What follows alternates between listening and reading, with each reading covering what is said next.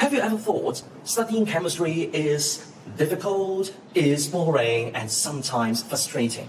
If your answer is yes, you should focus in this video because in this video, I'm going to give you three golden keys. With these three golden keys, you can improve your chemistry remarkably. Now, when you start your revision, you will open the textbook, but you will stuck there because you don't know where to start. Instead of open the textbook, you should close the textbook and try to say how much you have learned in your own words. Now, this is what we call the Feynman technique. It states if you really understand something, you can describe it in your own words. So, any hesitation or any uncertainties means you are not very familiar with that part, so that you have to go back to the textbook or you should ask the teacher. Number two, a lot of people say chemistry is abstract, so should I memorize all the explanations on the textbook? Now the answer is yes and no.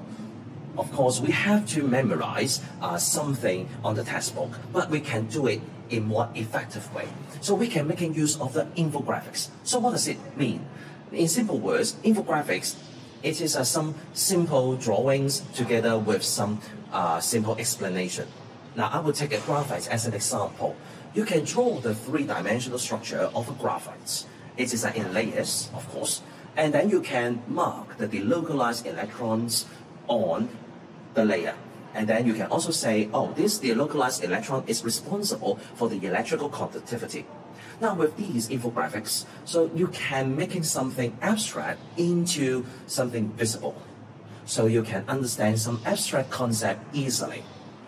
Number three, you have to look at the question carefully. In chemistry, the questions are usually embedded in a context or scenario. So the first thing you should do is to understand the context.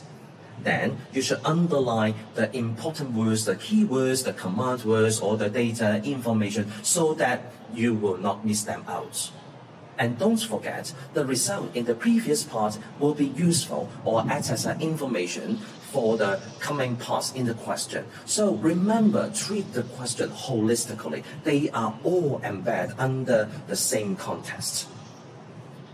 So if you are interested, okay, so there will be a link here or somewhere here, all right? So you can subscribe to my IG page and then you can have a 24-7 professional consultation. With these three golden keys, I'm sure you can have a great success in chemistry exam. Good luck.